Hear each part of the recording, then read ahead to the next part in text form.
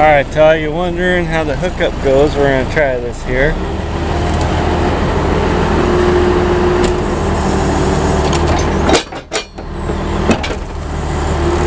That one down.